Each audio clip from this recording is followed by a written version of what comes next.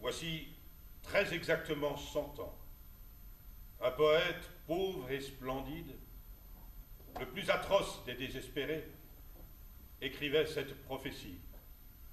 À l'aurore, armés d'une ardente patience, nous entrerons aux splendides villes. Je crois à cette prophétie de Rimbaud le voyant.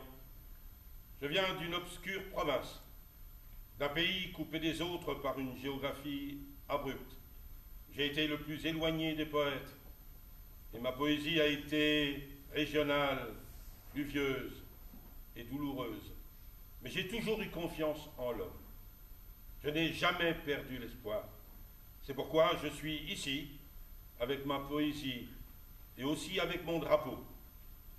En conclusion, je veux dire aux hommes de bonne volonté, aux travailleurs, aux poètes, que l'avenir tout entier a été exprimé dans cette phrase de Rimbaud.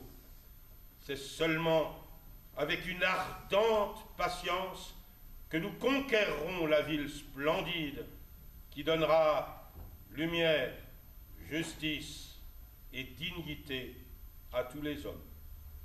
Et ainsi, la poésie n'aura pas chanté en vain. Conquistaremos la espléndida ciudad que dará luz, justicia y dignidad a todos los hombres. Así la poesía no habrá cantado en vano.